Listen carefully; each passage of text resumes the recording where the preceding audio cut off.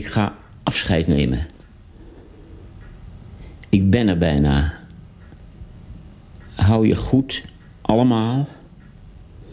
Sterkte. Doe je best. Laat zien wie je bent. Bye. Ed's laatste woorden waren: laat zien wie je bent.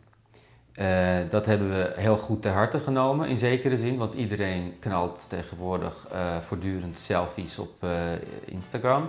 Aan de andere kant zijn het vaak zelf maskers. We laten ons helemaal niet zo zien zoals Ed. We verbergen ons achter fishgapes en duckfaces en filters. En dat vind ik wel eens jammer, want laat gewoon zien wie je echt bent.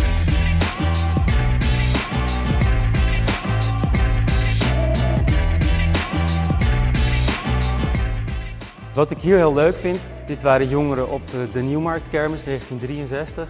En je hebt het gevoel dat je daar zelf staat. Dat komt omdat Ed op de mensen afstapte met een camera alsof hij een smartphone in zijn hand had. En hij dook ertussen. Dat noemen we zijn participerende camera. Die camera staat niet op een afstandje te observeren, maar die doet echt mee. Dat is eigenlijk hoe we nu allemaal elkaar en onszelf fotograferen. In dat opzicht was hij echt een voorloper van de huidige beeldcultuur. Nou, het leuke is, je ziet in die tijd dat mensen zich heel erg gevleid voelden als een fotograaf op ze afkwam. Zo van, oh wat leuk dat je van mij een foto wil maken, weet je, hoezo, ik ben maar een boerenlul, weet je. Hij maakte een praatje, hij was ontzettend charmant. Het was een echte brutale Amsterdammer en dat zie je in zijn foto's.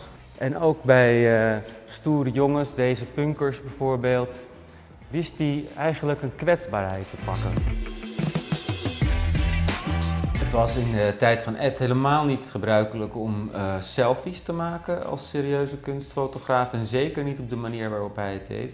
Namelijk uh, bloot in bed met een vriendin, ze hebben net seks gehad, verfrommelde lakens. Zulke foto's maakte niemand uh, van zichzelf. Het was echt een knutselaar, want hij wilde de techniek hebben om zo bewegelijk mogelijk te zijn, ook als filmer en zo spontaan mogelijk te kunnen werken. Dus hij was als eerste in Nederland al begin jaren 60 met een schoudercamera op pad op de Nieuwmarkt om gewoon het dagelijks leven te kunnen pakken. Hij uh, bouwde camera's om onder water te filmen, om de maan te filmen. Hij zette een soort voorloper van de GoPro op zijn jeep om zichzelf met zijn gezin rijdend door het veld uh, te kunnen filmen. Nou, ik bezing het leven. Ingewikkelder ben ik niet.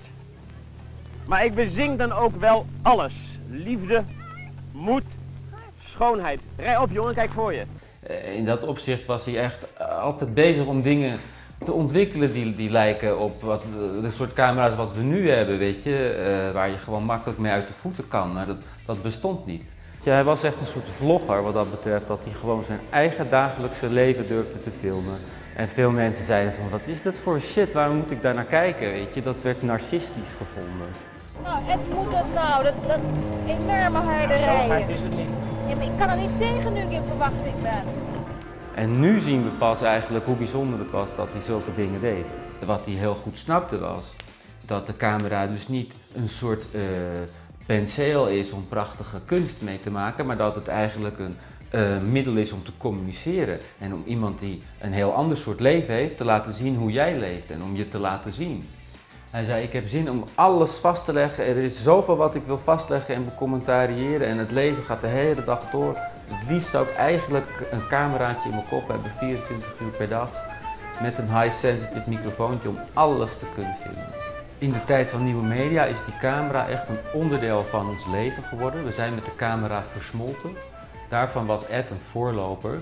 En dat is iets wat we nu in deze tijd pas kunnen zien. Dus we zien ook nu pas hoe bijzonder hij was als fotograaf en filmer.